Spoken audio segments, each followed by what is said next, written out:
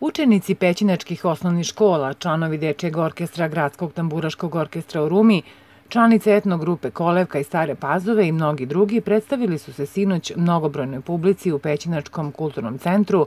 na Svetosavskoj svečanosti Pojte mu Srbi pesmu i utrojte. Mi smo se potrudili kao glavna ustanova kulture u opštini Pećinci da napravimo jednu svečanu akademiju gde će biti zastupljeni najviše mladi, jer na njima i svet ostaje, kako se kaže, i da bacimo akcenat gde, na kulturu, gde ću uh, i pokušati da kažem i rečima, a i učesnici uh, svojim učešćem koliko je kultura važna za jedan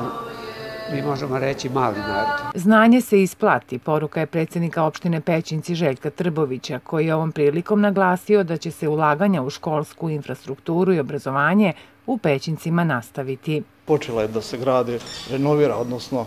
škola u Karlovčiću koja će da, da bude reprezentativna škola, tu će se uložiti oko 100 miliona dinara. Zatim, vrlo brzo će se o, početi da se renovira škola u Kupinovu,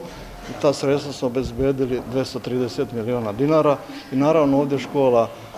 u samim Pećincima oko 130 miliona dinara. Pećinačka lokalna samouprava brine o mladima od rođenja do zaposlenja, kaže Trbović, ističući da je cilj lokalne samouprave da mladi ostanu u Pećincima i tu daju svoj doprinos razvoju opštine u budućnosti.